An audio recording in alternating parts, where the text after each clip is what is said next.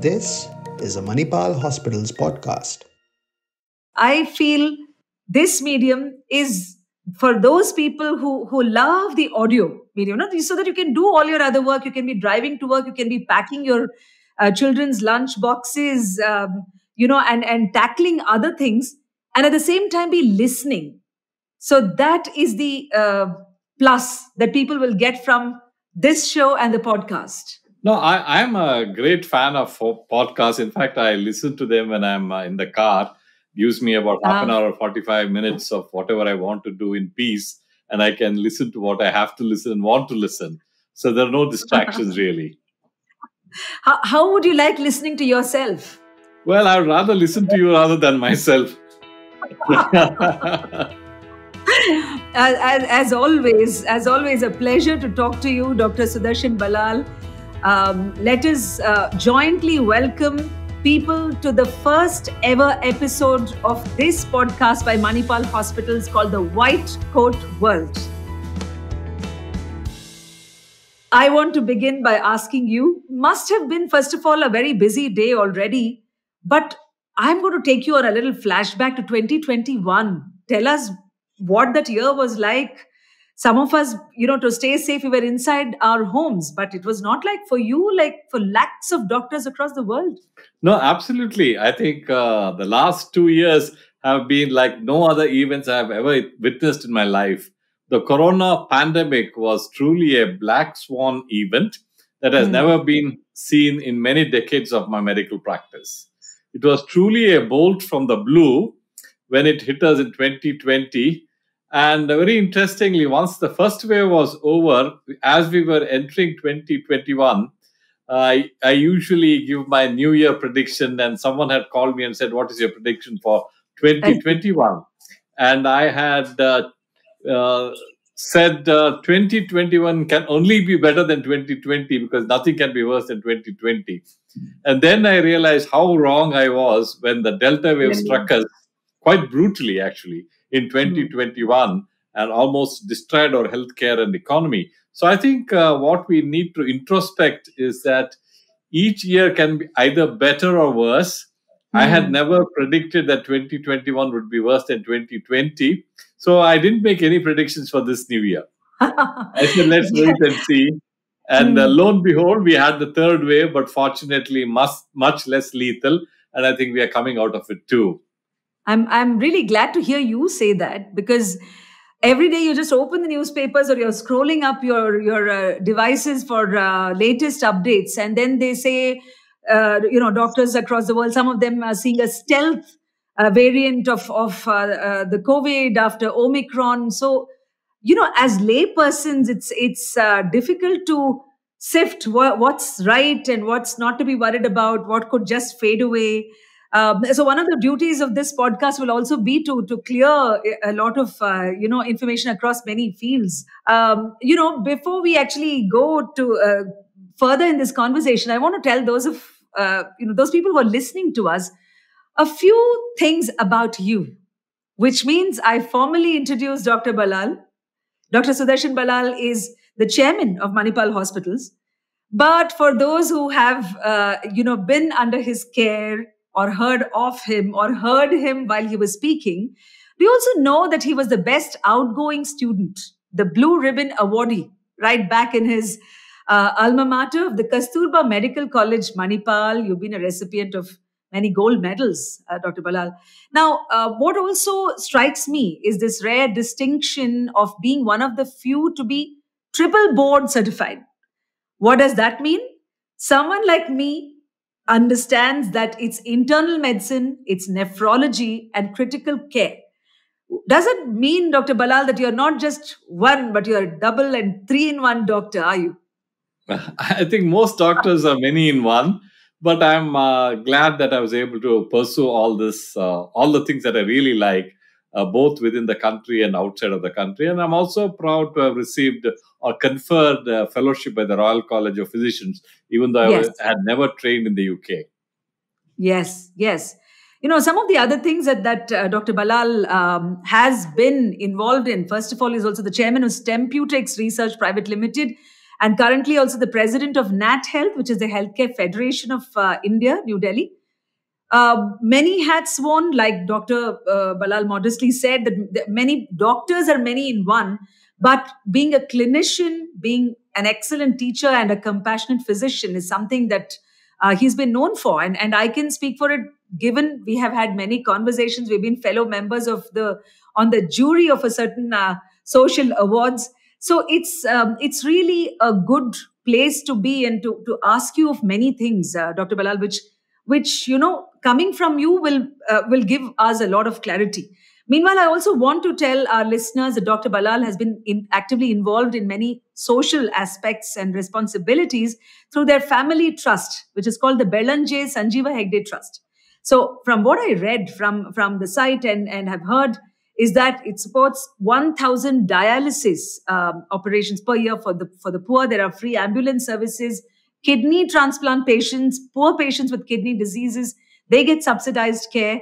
And in Hebreen, which is in Udupi, Karnataka, there is health insurance for the uh, poor villagers. There's also scholarships for uh, medical students uh, and, and uh, many such activities. So for me, right up, what I, what I find very inspiring and will be for, for particularly doctors entering the profession who are going to be listening uh, uh, to this show is this marrying of expertise in the medical field, but plus also being a socially responsible citizen you know someone who's who's in a give back mode.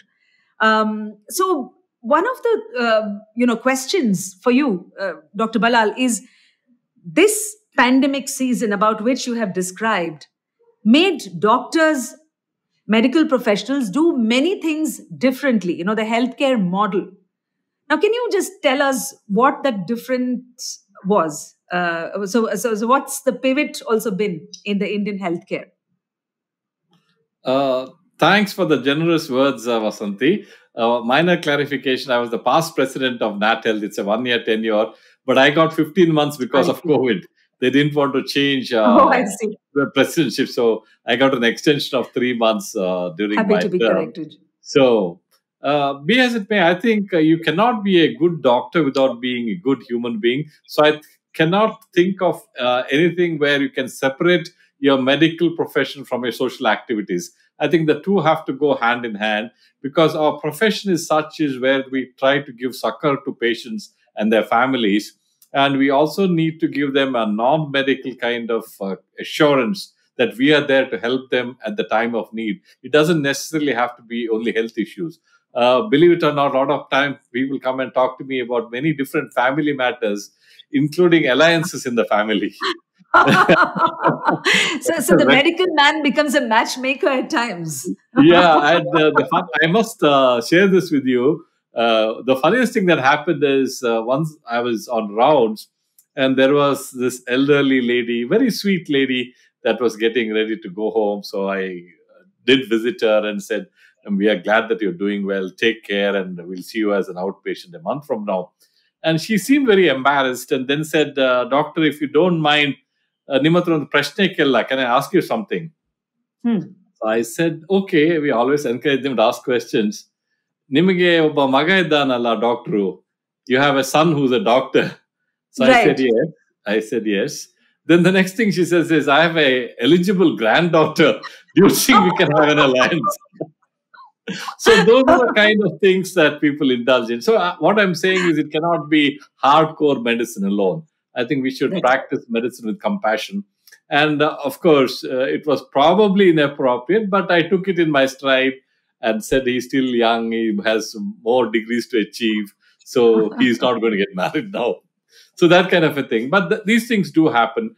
But what has happened uh, in uh, before we move on to anything else in Corona is that we have had both the clouds of Corona with many silver linings. Of course, everyone is aware of the clouds of Corona, the lockdowns, the effects uh, on the uh, e- uh, economic front, on the healthcare front, loss of footfalls in the hospital, significant yeah. uh, damage to non-COVID care, which is a serious, which was a serious, serious event. People couldn't go to the hospital right. even when they needed it, and uh, especially in my field, dialysis, which is three times a week, people going for dialysis was a huge problem. There was a huge physical uh, financial and mental stress uh, for the healthcare workers.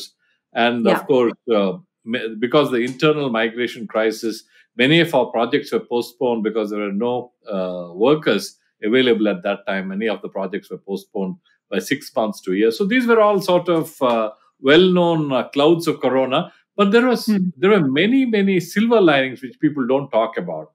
First and foremost, to me, was the acceptance of digital health, which we'll talk about a little later, I'm sure. Yes. Second is uh, there was a significant decrease in the non-COVID respiratory illnesses, whether it's flu, cold, cough. During that peak Mm. COVID, we never saw any cold or cough, even at home, because everyone was maintaining distance, not coughing, yeah. following Yeah. cough etiquette, and uh, hardly any non-COVID respiratory illnesses. And very interesting statistics, uh, Vasanti. During the first few months of COVID, there was a significant decrease in the death rate because the accidents in the country had come down drastically because people were not traveling. And of Hmm. course, there was a lockdown. So the number of uh, motor vehicle accidents had significantly come down. The other That's th- right. important things that happened was that healthcare sort of was recognized as the prime mover in the country and was given the importance it richly deserved. And uh, more importantly, I think uh, the medical profession regained its nobility. We were getting tarnished for various reasons, and this brought back the nobility, which was very close Yeah. to my heart. And of Yes. course, uh, in the field of science, wa- vaccines which would take about eight to 10 years to develop were developed in a matter of eight to 10 months, which is a stupendous success for our scientific community. And these are Very the good things that happened with Corona. I'm not saying that uh, Corona was all bad or all good. Certainly, it was a balance, probably more worse than uh, good happening out of it. But at least there's a lot of good which we should carry on for the future. Yes, doctor, it's it's uh, uh, important to look at it uh, as a whole.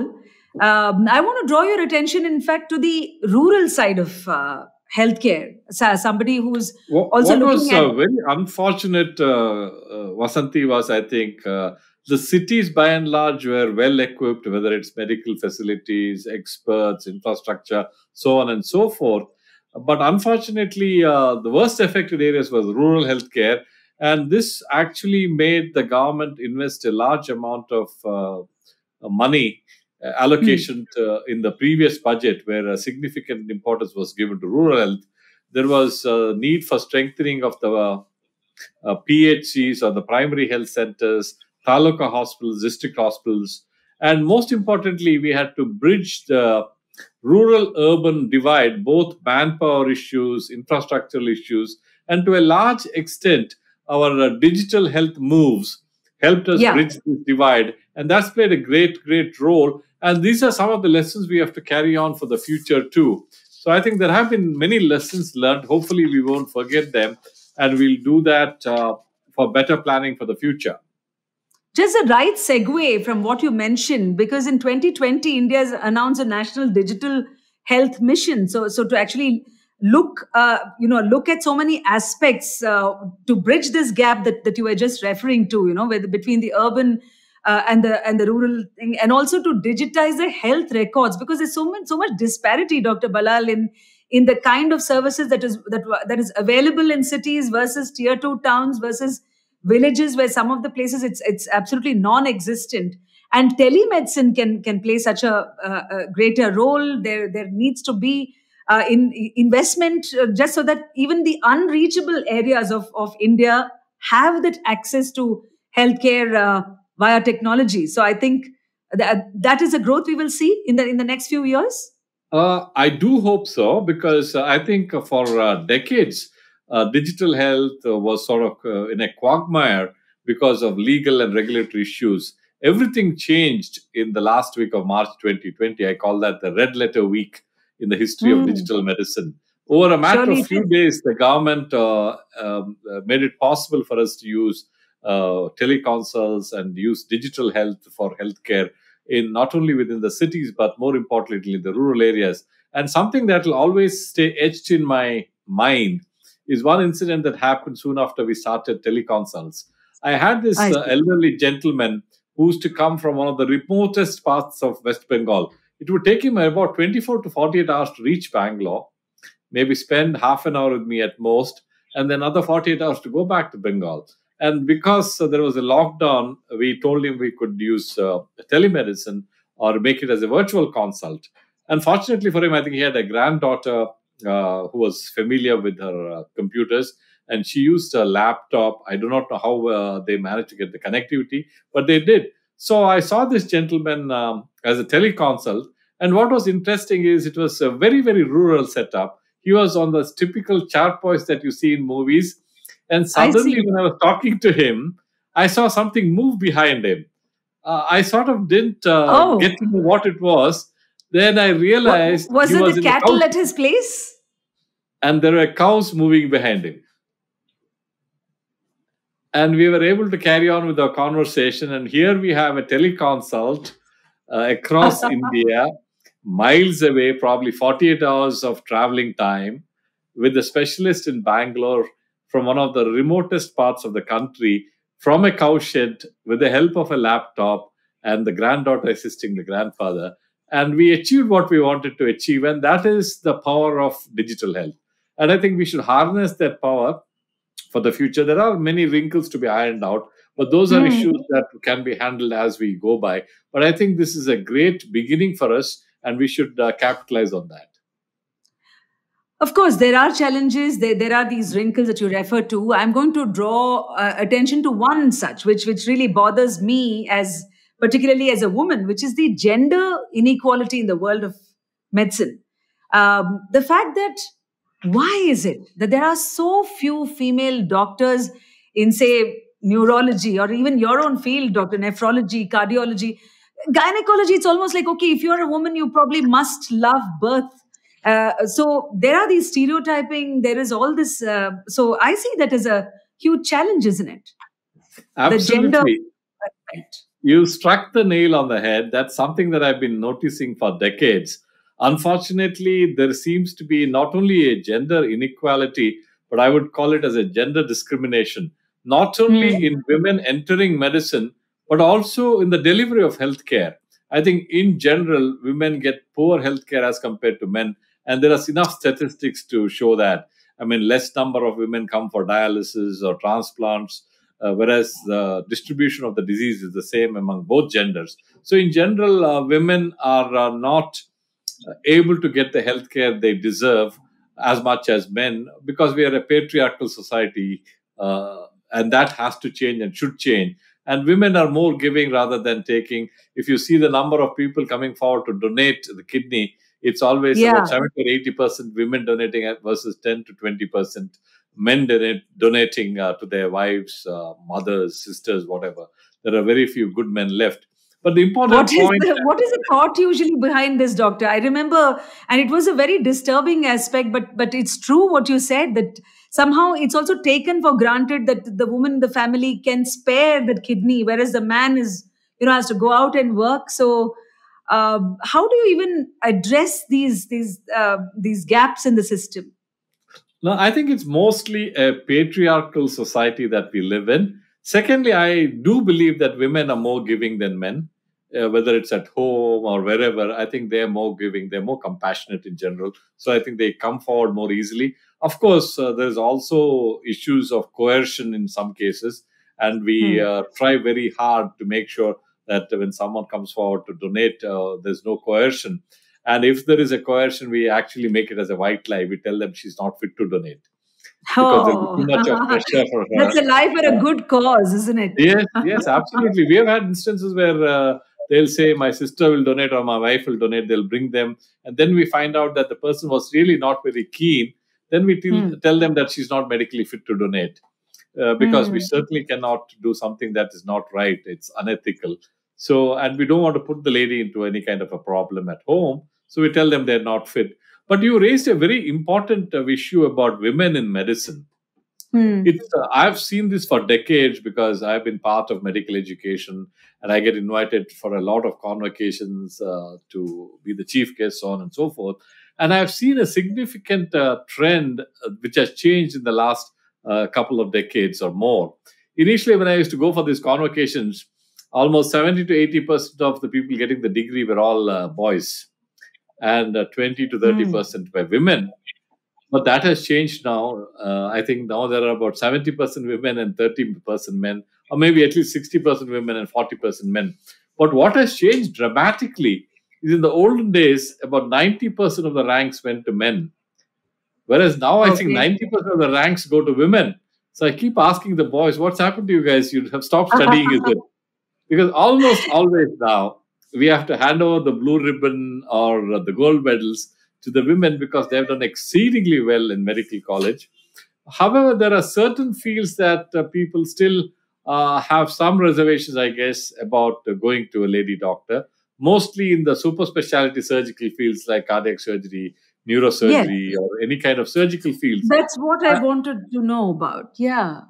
Yeah, I think uh, that again is a, a mindset we need to realize that women have better hands than men in hmm. addition mm. to being very proficient in what they do. If you see, uh, basically, women have uh, much finer skills than men in general. So surgery is no different. It's the mindset that we need to change. Believe it or not, when I first went to training in the US, uh, that was probably about 30 or maybe closer to 40 years ago. Uh, one of my postings was uh, in surgery. Uh, one okay. of my first postings was in surgery and my colleagues, I had just gone to the US, I was fairly new to the system. Uh, this guy said, I believe you're going to be posted in surgery. So I said, yes. And then he had a smirk on his face. So I said, uh, I, I, really don't know why you have that smirk on the face because I didn't know. He said, you will see your boss tomorrow, then you know. The I see. boss happened to be a lady. And those days, it was extremely uncommon, even in the US, to have lady surgeons as the boss. So most people sort of uh, didn't take it as a compliment being posted in surgery where the lady was a boss, but she was an extremely proficient surgeon, very good teacher, and I had a great time. But what I'm saying is this gender kind of uh, yes. inequality, discrimination has existed, but fortunately it's getting better. And now I think certainly there are a lot more women in the field, not uh, usual traditional obstetrics and gynecology or uh, pediatrics uh, but also in fields that demand a lot of their valuable time. However, I think they have to make their own choices because uh, balancing their uh, life and work is an individual choice. So I have equal respect for women who decide to stay at home. Uh, in fact, I tell uh, many people that being a mm. homemaker is far difficult than being a neurosurgeon at times. so, but that's a yeah. choice that they have to make. But certainly, I think we should treat everyone equally and I'm glad that more uh, women are in the field. And if you walk into my department, you'll probably see more women than men. And some of the best uh, minds we have had in our department are women. Yes, one has seen that. And uh, one important point that you made about women uh, having academic excellence, more girls topping, and uh, you know even in in their medical education. But that somehow also needs to transition and translate into not discriminating when they enter into higher fields of medicine.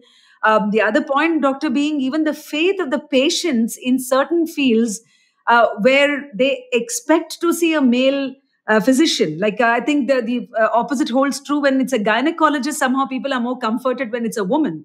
But in so many other fields, you you uh, I also hear from uh, specialists or, or women doctors saying that patients do not trust a certain gender in certain fields. So I mean, these are also I think very very um, nuanced uh, this thing of, of how biases work how our mindsets are as as a society uh, so all in all it, it should become more fair and equitable i guess no, i would think so but it, these are uh, things that have been happening for generations so it won't That's happen right. overnight i think uh, even uh, today there is some uh, hesitation on part of male patients to go to women doctors especially in the surgical field but that is hmm. changing it's it's not the same as what used to be 30 40 years ago i think more and more of them accept uh, women doctors in fields other than obstetrics gynecology pediatrics. So i think i uh, know of a lot of patients who don't have any qualms about going to a woman surgeon or a woman cardiologist or a neurologist. So i think right. things are changing. And i think as we move further it will change further. And uh, soon uh, will not only be equals but I'm sure women will be respected far more than men. yes, like uh, one can see that you're you're rooting uh, always for women. You're you're one of those feminist, uh, you know, strong ideal doctors. I also want to draw your attention to uh, another aspect, and I'm glad we are spending time on this podcast on matters which otherwise don't get talked about. You know, there are so many taboos around topics, but in this episode on White Coat World, we are addressing something which is at the very fundamental level of, of medicine. There are so many young people, young women, uh, maybe even transgenders who, who would make great strides in, in medicine. And I think that level playing field is important. One of the last questions that I want to ask you on this is on the um, question of ethics itself, which is again foundations of good uh, healthcare and the trust between the vaidya and and the and the rogi or the or the doctor and the patient has has always been very sacred particularly in, in the indian uh, system you know whether it's family doctors and people tend to trust doctors more. But that component dr ballal over the past few years i have seen a lot of erosion. It's quite possible that you know that distrust also comes in with let's say a corporate healthcare setup the the doctors um, the doctors may or may not have anything to do with that that system. But what i want to ask you very candidly as a layperson uh, on the show is that how do we ensure that medical ethics are in place? How do we use that ethics to build better health care for india uh, thank you very much for asking me this, uh, Vasanti. This is a question that's asked of me many times. I am very glad that you asked me this question because it's very close to my heart. Uh, I keep asking myself, and also whenever I'm addressing a young audience, I ask them, what is it that differentiates a usual doctor from a great doctor? And is it just knowledge and skills, or is it something else? Knowledge and skills are certainly essential, but my take on this has always been it is compassion, empathy, hard work, and most, most importantly, ethical practice of medicine and a humane approach is the core of being a great doctor. One has to be a good human being to be a good doctor. Unfortunately, there are many in the medical field, or at least some in the medical field, who may, what we call, be the black sheep of the society. But fortunately for us, there are very few. And these are the people that we need to police and regulate because if we don't police ourselves, someone else will. And I also believe that ethics in medicine is something that we should start very early. It should be part of the curriculum in all medical schools. And also, we should have a selection bias when we appoint people at various levels that we place a lot of emphasis and give a lot of weightage to their ethical practice of medicine, how humane they are, their interpersonal skills, rather than medical or surgical skills alone. And my le- uh, advice to the senior leaders in the fraternities please lead by example because young minds are very vulnerable they would go by what they see and if they see their uh, teachers mentors professors behaving in a ethical compassionate humane way they would follow that. And i have seen that over and over again. I've seen some students come from uh, uh, backgrounds where their bosses have been not very compassionate and you can see them uh, see that mm. rubbing on them. And i've seen some people who have come from uh, training programs where they had extremely compassionate ethical uh, training and you can see that change in them. So they are very moldable at this age and i think we should catch them young uh, put this up in the medical school curriculum and certainly uh, we should lead by example so that uh, all doctors not only learn medical skills but also have an ethical bent of mind and practice humane medicine I think as we speak, Doctor, there's been always been this raging debate uh, around us about you know the cost of medical education and whether that also plays a part in in some of them thinking that okay, you know the the money invested in getting that education in the first place uh, is so huge and sometimes out of reach of uh, people who want to see their children as doctors and see themselves.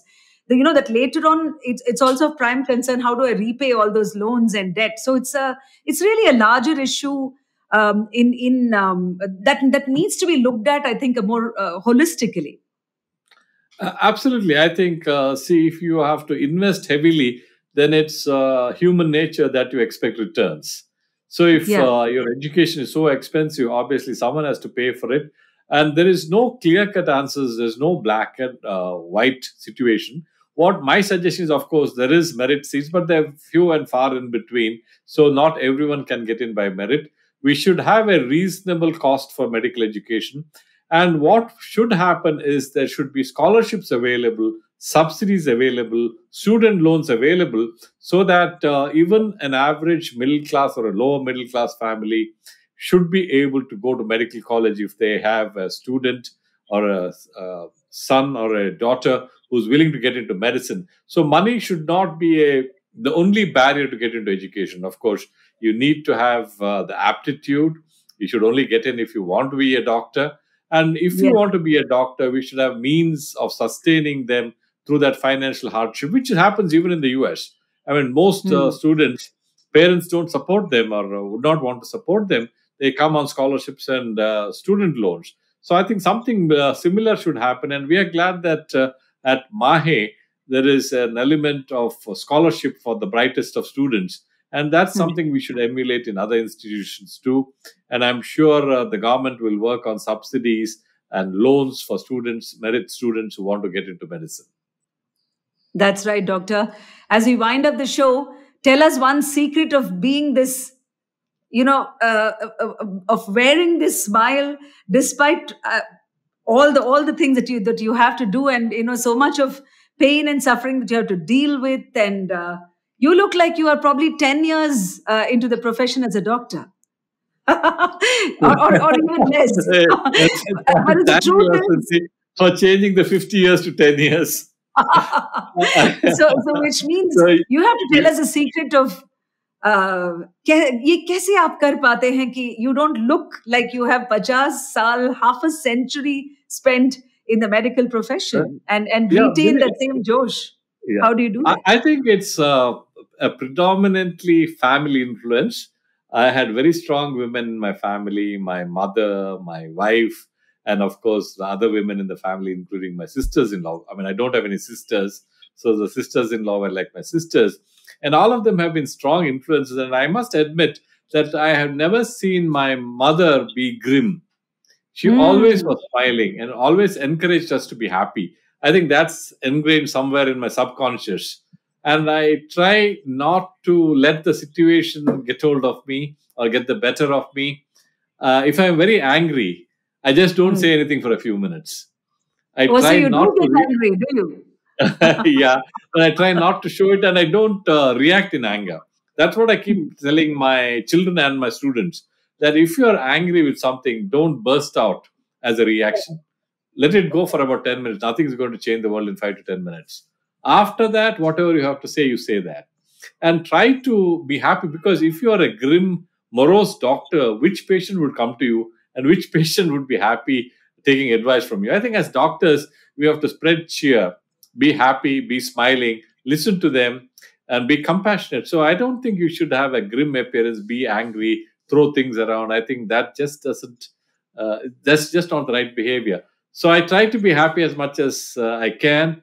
And even if I'm not happy sometimes, I still present myself as a happy man uh, great secrets shared in uh, uh, some of the times when you walk into the doctor's uh, clinic or room uh, with with some ailment you just see the doctor and you're cured you see sometimes a doctor she or he doesn't even have to give the medicine. Sometimes you just see them and you're like you know so i think uh, there is a lot uh, of reassurance that that kind of uh, comfort you know that, that you feel with with the person who's healing you who's treating you. And it's been great to draw some of your own life experiences uh, to to issues that that are you know um, that India is dealing with as a whole. So likewise, White Coat World will will have many many conversations in the weeks and months to come with uh, doctors such as you. I'd like to thank you for being my guest on the show, Dr. Ballal. It was my pleasure, Vasanti. Thank you very much. Yes, and that with that we it is a wrap on this episode. Until we meet you next time. Namaskara and adab.